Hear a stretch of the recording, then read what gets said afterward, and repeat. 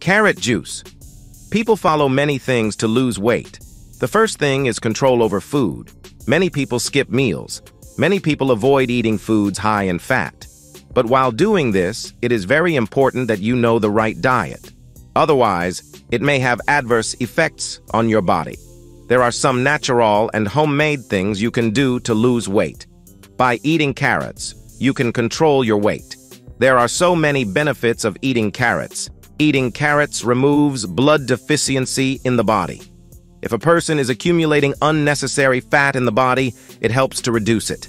Carrots contain many nutrients, including vitamins A, C, K, B8, zinc, iron.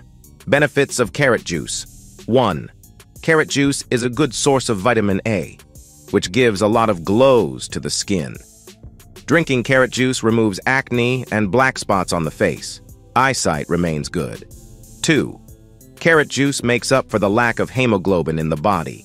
Carrot juice is beneficial for people suffering from anemia, and its consumption helps in blood formation in the body. It is rich in fiber, which increases the digestive power of the body, thereby relieving the problem of constipation.